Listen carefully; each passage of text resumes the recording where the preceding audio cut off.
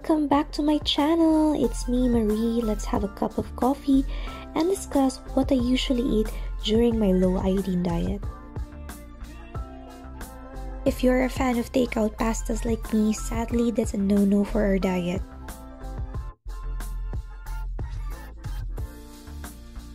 Even typical breakfast food like eggs, sausages, hash browns are not allowed in our diet.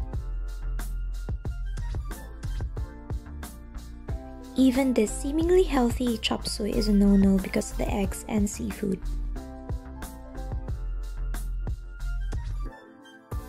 So, what am I really allowed to eat? That's usually the dilemma when starting out on a low iodine diet.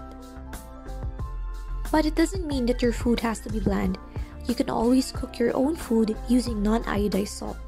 So here are some of my recipes for my low iodine diet.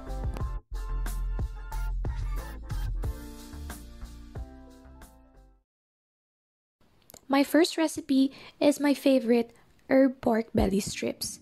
Here, I use some non-iodized sea salt, pepper, and my favorite Italian dry herbs. You can use any herbs you want as long as you know that they're not iodine fortified.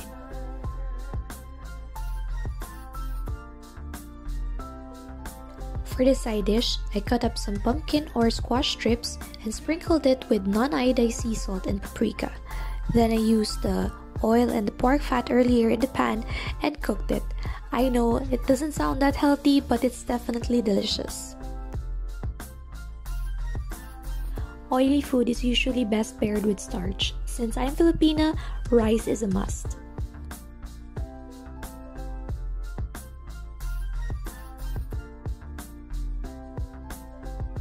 Putting them together, I now have a plate of herb pork strips, fried squash, and rice. It's tasty and perfect for my low iodine diet. You can always use other meat or vegetables, just make sure they're fresh and not iodine fortified. And of course, always use a non-iodized salt.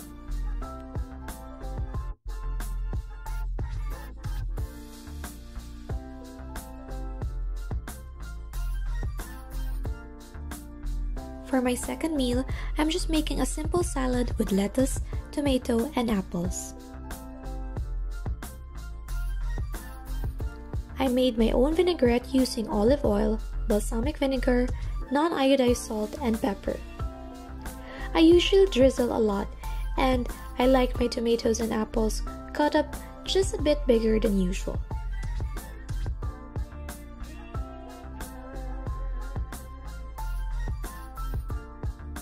I had some leftover pork from earlier, so I decided to cut it up and add to my salad for protein.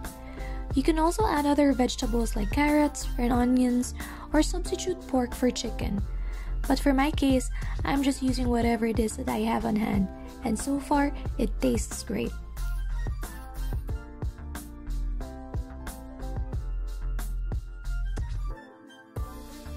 For my third recipe, we already have a messy pan of aglio olio. Basically, you slow cook lots of garlic chips in olive oil Put some chili flakes and add some pasta water and this will be your pasta sauce.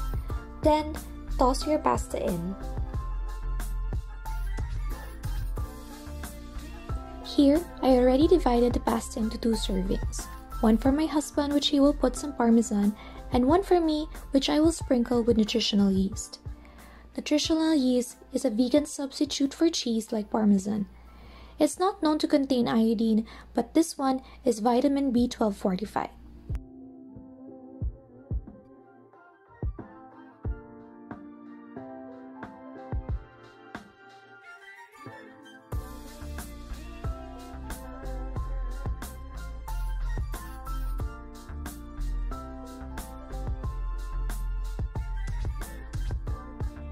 So there you have it, my aglio olio low iodine version.